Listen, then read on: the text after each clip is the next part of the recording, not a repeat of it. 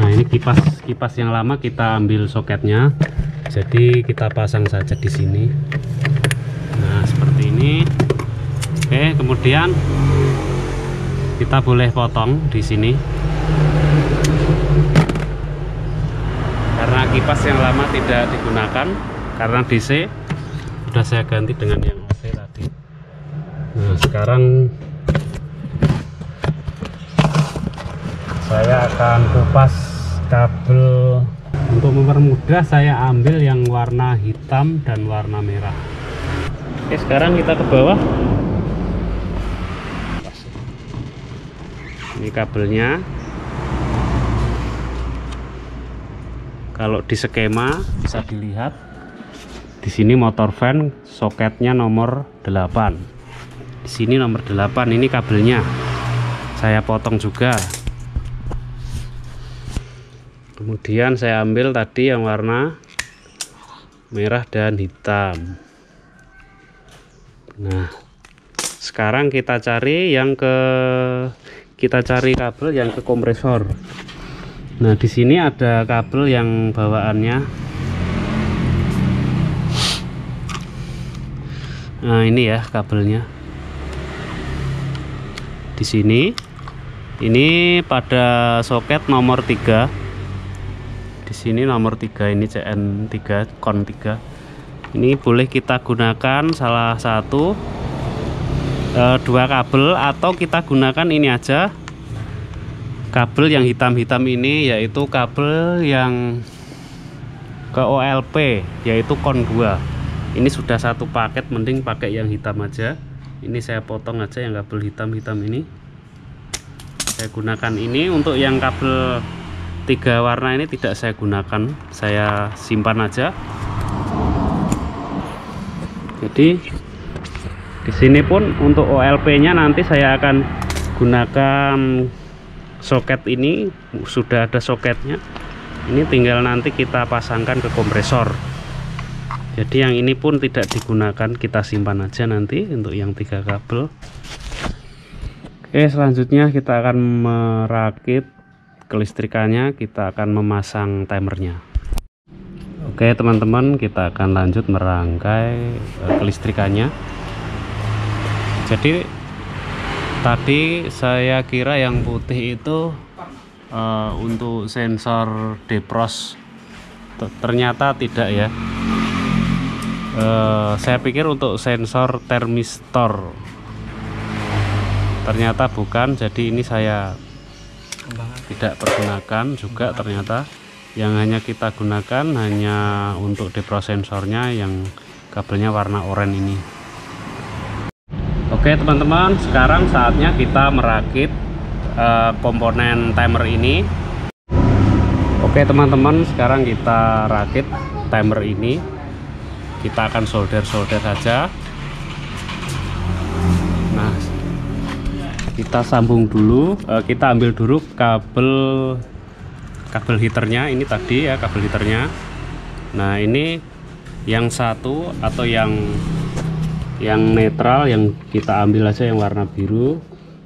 Ini yang netral kita langsungkan ke jalur yang netral ke N sebelah sini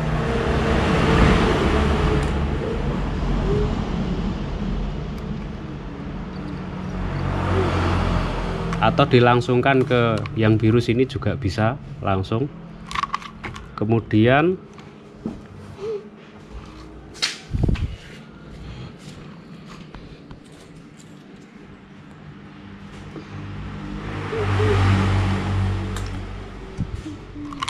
yang satunya kita gabungkan dengan depro sensor ini tadi oranye ya depro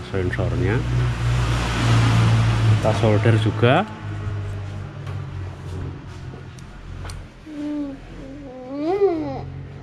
Depro sensor. Kemudian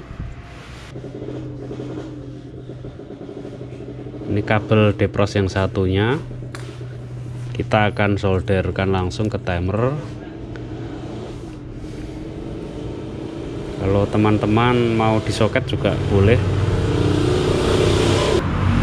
Ini yang pertemuan antara heater dan defrost sensor kita kasih ke nomor satu.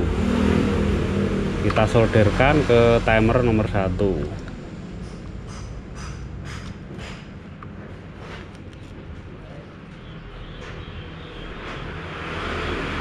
Kemudian yang satunya kita depros kaki depros yang satunya eh, sensor ya kita taruh ke angka 2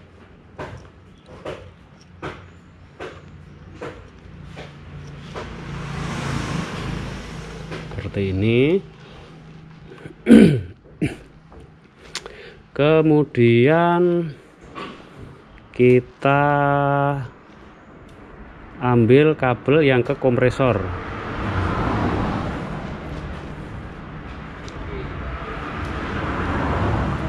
ini ada dua kabel.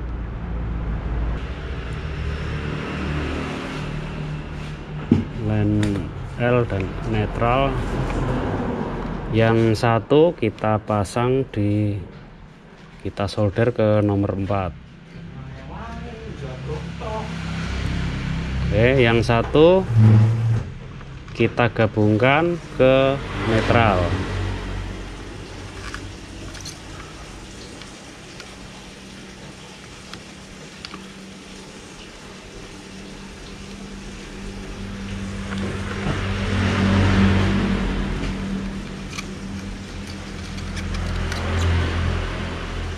bentar. Aduh panas. Nah kemudian untuk yang nomor tiga kita ambilkan dari len yang warna coklat ini. Atau bisa dicarikan di PCB sini.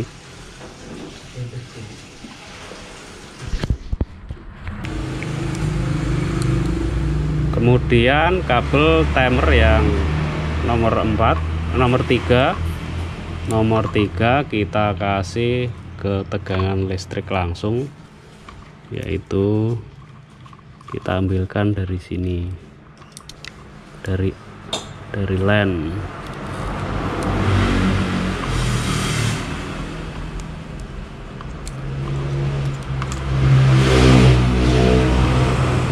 dapatnya warna biru ini sekarang kita sambungkan kabel yang ke kipas ke kipas dalam eh, kipas evaporator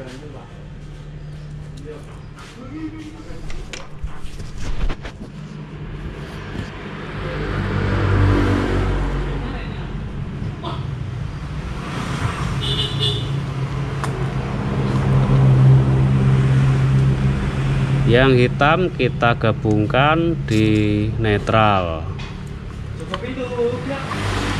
Kemudian yang merah kita gabungkan ke nomor 4 ikut ke jalur kompresor. Jadi tiap kompresornya nanti jalan dia juga jalan kompresornya berhenti dia akan ikut berhenti karena dia tidak menggunakan switch pintu lagi.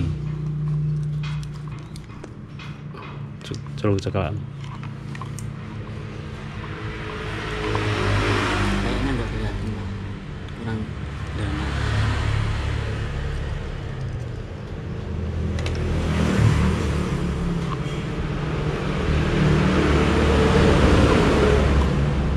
Nah, sekarang udah selesai. Ini tadi yang putih salah ya, nggak saya gunakan.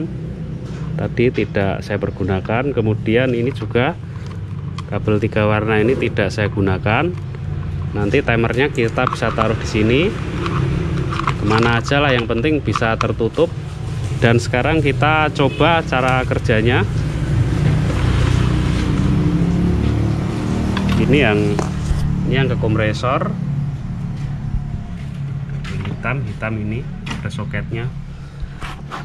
Sekarang kita coba eh, putar timernya ke mode standby atau pada defrost. Kita pakai obeng kecil.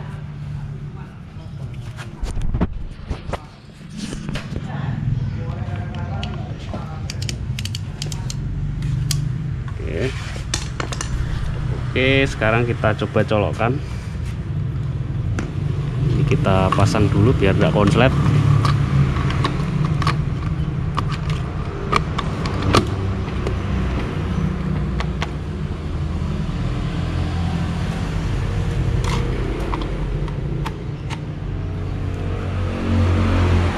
Ini saya rasakan timernya berputar atau untuk lebih jelas kita pakai tang ampere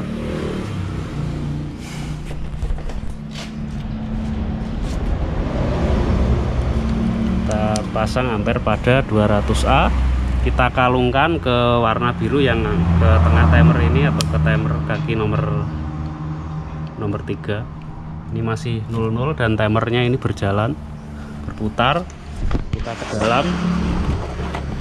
Nah, untuk mengetes defrost sensornya, eh, defrostnya bekerja atau enggak prosesnya, kita bisa gabungkan kabel ini.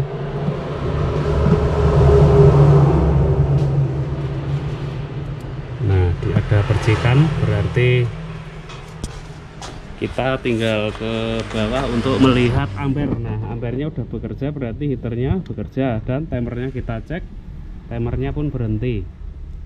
Nah, berarti sudah baik proses kerja heaternya sekarang kita kembalikan ke posisi on timernya berputar. Ini saya nggak ada gelas pengintainya jadi saya nggak bisa memperlihatkan. Tapi ini berputar dan ampernya akan hilang atau berhenti karena heaternya udah eh, pada posisi tidak bekerja. Jadi pada saat seperti ini kompresornya akan kerja dan kipasnya pun harus bekerja. Cuma di sini kipas belum saya pasang. Saya akan pasang dulu biar kelihatan nah ini kipasnya berputar nah. oke sekarang kita tinggal merapikan rangkaian ini. Tutup kita pasang-pasang lagi kita tutupnya. Kita sekarang tinggal memasang kompresornya. Untuk pemasangan depro sensornya seperti ini ya jadi yang ini tetap kita pergunakan kita taruh di sini yang satu kita ditaruh sebelahnya nanti kita ikat pakai tali seperti ini.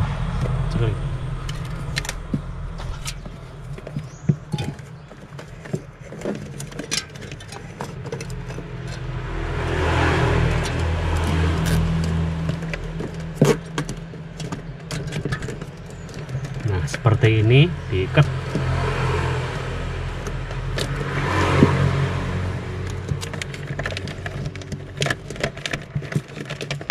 Oke sementara biarkan begini. Kita jangan pasang dulu tutupnya karena nanti kita buat ngontrol kondisi freonnya masuk e, lancar atau tidaknya. Kita tinggal dulu